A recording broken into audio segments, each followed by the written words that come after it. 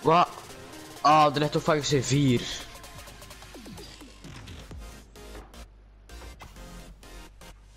Een automatisch C4.